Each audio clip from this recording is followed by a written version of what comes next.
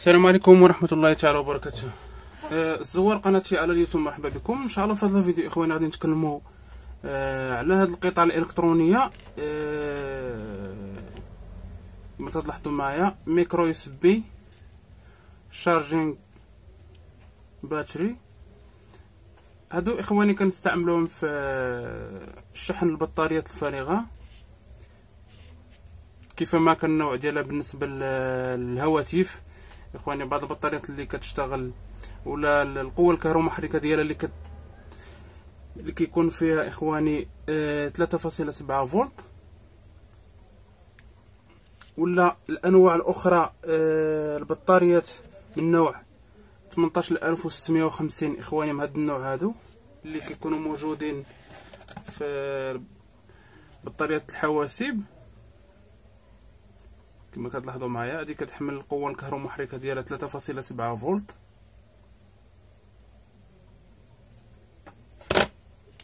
القيمة آه ولا إخواني كما تلاحظوا معايا؟ لاحظتوا معايا هي هنا. 18650 هذا من نوع 18650 بطارية تشحن بهذه القطعة الإلكترونية. كذلك بطاريات الهواتف سواء من هذا النوع الصغير أو نوع آخر. آه، بالنسبة لبطارية الهواتف إخواني كيف ما كان النوع ديالها سواء البطاريات الخارجية أو الداخلية لأن هناك بطاريات آه، تكون مدمجة داخل آه، الهاتف. هناك بطاريات خارجية تكون خارجية ممكن نقوم بالإزالة ديالها عكس البطاريات الداخلية.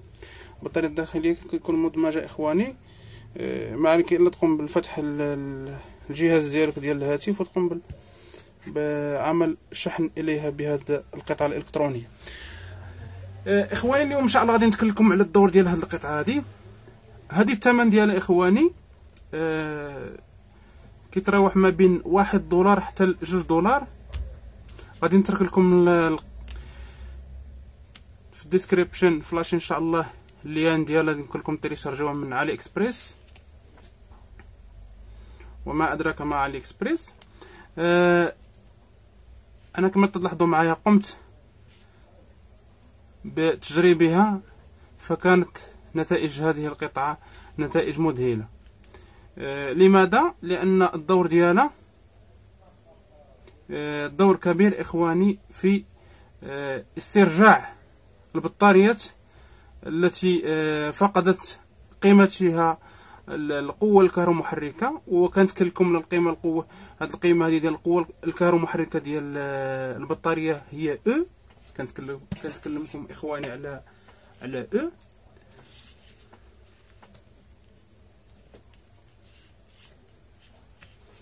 هاد أو هذه كتساوي إخواني 3.7 فولت اللي كنتكلم لكم عليها. البطاريات الاخواني بعد اللي كيوقع فيها خلل ديال الشحن سواء في الهواتف أو آه، في البطاريات الحواسب أو ايا كان. مهم آه، الموضوع ديالنا كيقتصر على البطاريات التي تشحن من نوع بطاريات من نوع ليثيوم. آه، هنا إخواني بعض البطاريات توجد في الهواتف تفقد قيمتها القوة الكهرومحركة. مثلا نأخذ على مثال هذه البطارية هذه بطارية سامسونج. فيها 3.7 فولت. لكن بعض الأحيان إخواني لا نجد في البطارية 3.7 فولت. رغم هذه القطعة هذه ولا هذه البطارية نقوم بتركيبها في البطارية. نقوم بتركيبها عفوا إخواني في الجهاز الهاتف. لكن الهاتف لا يستجيب معنا نهائيا. ندخل الشاحن لا, لا يستجيب ولا يعطي أي نتيجة. لماذا؟ لأن القوة الكهرومحركة لهذه البطارية لم تعد كما هي أو كما آه، يشار إليها الصانع إخواني هي 3.7 فولت. لذلك الحل آه، لإصلاحها هو نقوم بضربها إخواني أو بشحنها بهذه القطعة الإلكترونية. هذه القطعة الإلكترونية القوة ديالها إخواني هي 5 فولت. واحد أمبير. تقوم بشحن أي قطعة أو أي بطارية كيفما كانت نوعها. غادي نلاحظوا إخواني إن شاء الله آه الآن غادي نقوم بالتجربة ديالها. آه، الميزة أخرى إخواني في هاد القطعة هذه هي كيمكننا نقوموا بالتوصيل ديالها بواسطة شاحن هاتف. كما تلاحظوا كونيكتور من نوع الهاتف. آه، يمكننا نقوموا بالشحن ديالها بواسطة أو التشغيل ديالها بواسطة شاحن ديال الهاتف النقال كما تلاحظوا معايا يمكننا نقوموا بالتوصيل ديالها. كتشتغلنا باللون هاد اللمبة هادي كتشتغلنا باللون الازرق ميزة أخرى إخواني هاد القطعة هادي حينما تقوم بشحن البطاريه مئة في مئة فهاد الحالة تتم الرجع ديال القيمة القصوية اللي موجودة في هاد البطارية إلى القطعة الإلكترونية أو إلى هاد ال micro USB charger. يقوم بقطع التيار الكهربائي والتوتر الكهربائي آه، اللي كيقوم به ولا اللي كيكون آه، خارج من القطعة ويقوم بالشحن للبطارية automatiquement ويعطي في هذه الحالة باللون أزرق. في هذه الحالة يعطي باللون الأزرق. هناك IC IC الشحن هو هذا إخواني هو اللي كيقوم بالفتح والغلق ديال الدارة الكهربائية ديالنا في هذه الحالة. لكن عندما يجيه أمر بأن آه، الفولتية الموجودة على البطارية قد وصلت الحد الأقصى لذلك فيتم رجع إلى الأي سي ويتم غلق الدارة الكهربائية نهائيا. آه، هذه الميزة إخواني اللي موجودة في هذه القطعة الإلكترونية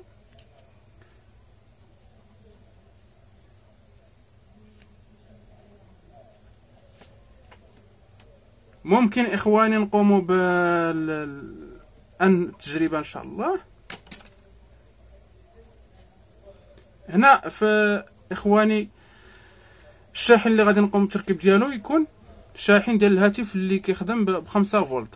5 فولت un ampère deux ampères 3 ampères. ما هنا في هذه الحالة ما كان ما كنشوفوش الشاحن القيمة ديالو بالنسبة لشده التيار اللي كيخرج لنا. ولكن كنشوفوا ال voltage اللي داخل لهاد القطعة هذه ضروري لأن في الخارج ديال هاد القطعة هذه هاد القطعة كتقوم بشحن البطارية بشكل تدريجي. هذه هي الميزة اللي أبهرتني إخواني. البطارية إلا كانت إخواني البطارية فيها جوج فاصلة واحد فولت ولا جوج فولت فهذه البطارية تبدأ في استعادة قوتها ولا فولتيتها تدريجيا. من جوج فولت إلى 3.7 آه، فولت إلى 4 فولت إلى 4.2 فولت. هذه هي القيمة القصوية اللي كتوصل إلى البطارية بطارية الليثيوم وسواء بطارية الليثيوم من نوع هاد من نوع هاد 18650 ولا من بطارية الهواتف. كما كيفما كان نوعها إخواني. آه هنا هذه الحالة لا, لا يتم التأثير على هذه البطارية نهائيا فيتم شحنها بشكل تدريجي وطريقة طبيعية جدا. ما كيكونش أدنى أدنى تأثير إخواني على هذه البطارية كيف ما كان نوعها. العكس هناك بعض بعض الطرق يستعملها بعض المصلح الهواتف آه، ولا المصلح الحواسب ايا ايا كان إخواني يقومون بشحن البطارية أو ضربها ما يسمى بالديريكت. هذا هو المصطلح الشائع عند آه، المصنعين. في هذه الحالة آه، يقوم بضربها بال direct. هذا ال direct إخواني غير مفهوم جدا. آه، بعض المرات قد يكون هذا ال direct بقيمة ديالو 12 فولت. القيمة ديال هذا ال direct إخواني 12 فولت. وهذه القيمة هذه قيمة غالطة إخواني. علاش لأن بعض البطاريات تقوم بالدخل. هناك دخل لشحنها يكون ضعيف مقارنة مع هذه القيمة هذه. آه، طريقة غير علمية وغير شغالة إخواني نهائيا. لا أنصحكم باستعمال هذه الطريقة. أنصحكم باستعمال هذه القطعة الإلكترونية. قطعة عجيبة إخواني الثمن ديالها قليل وأجرها كثير. أنصحكم باستعمالها.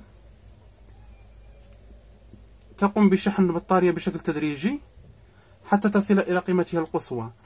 آه، رغم أنها تقوم بشحن البطارية بواحد أمبير فهي لا تؤثر على البطارية وتقوم بشحن البطارية مئة في المئة. كما تلاحظ معايا أنا عندي هناك بطاريات قمت بالشحن ديالها بواسطة هذه القطعة إخواني. غادي تلاحظوا معايا؟ هنا في القطعة هذه كاين ال B moins وال B plus قمت بالربط هذه الأسلاك هذه في ال B plus وال B moins. هنا غادي نمشيو للقطب السالب غادي نربطوه مع القطب السالب ديالنا. كما تلاحظوا؟ والقطب الموجب إخواني غادي نمشي للقطب الموجب. هنا إخواني لماذا لم تعطيني أي نتيجة؟ لأن البطارية ديالي مشحونة. غادي نجرب إخواني بطارية أخرى.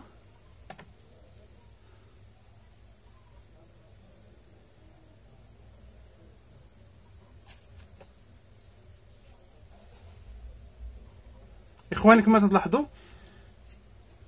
هذه البطارية فارغة. اذا فقدت من قوتها الكهرومحركة اذا عندما نقوم بتوصيل القطعة أو البطارية لشحنها فيتبدل إخواني هنا من لون أزرق إلى لون أحمر. فهذه العلامة على تدل على أن هناك آه، شحن للبطارية. هذه آه، الحالة آه، نترك البطارية حتى تشتغل تشتعل اللمبة باللون الأزرق فيكون الشحن تام إن شاء الله. طريقة سهلة إخواني. كذلك هذه الطريقة إخواني يمكن يمكن لكم تطوروها حتى نتوما وتقوموا بالتركيب آه، ديالها بواسطة ولا شحن البطاريات من نوع هاد آه، الهواتف بطاريات خارجية. هناك بطاريات اللي تكلمتكم عليها داخلية للهواتف سواء البطاريات الجديدة ما عليكم إلا أن تعرفوا آه، القطبين السالب والموجب للبطارية وتقوموا في هذه الحالة بالشحن ديالها. بطارية الطابليت كذلك يمكننا نقوم بالشحن ديالها. لأن البطارية إخواني كيفما كان النوع ديالها إلا كان القيمة ديالها ديال القوة الكهرومحركة القيمة المكتوبة على عليها 3.7 فولت. 3.7 فولت. المكتوبة عليها 3.7 فولت. وقمنا بالقياس بواسطة ال voltmètre ولا ال Metrix. كما تلاحظوا معي إخواني؟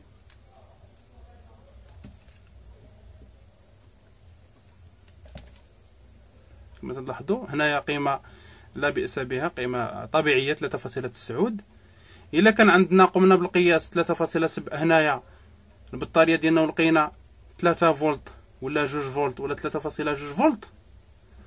وقمنا بإدخاله في الشاحن.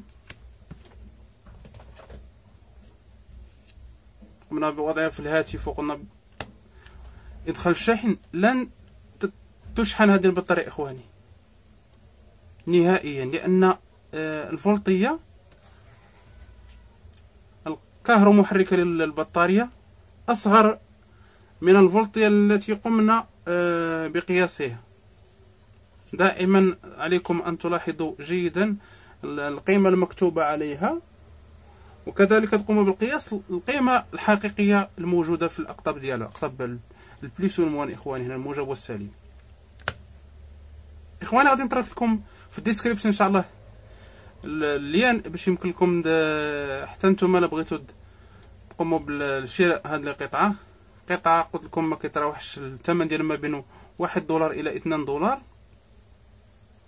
أنصحكم باستعمالها. هذه القطعة تصلح لعدة آه، مسائل إخواني. يمكن لكم نتوما تطوروها في مجال ديالكم مجال صيانة الهواتف.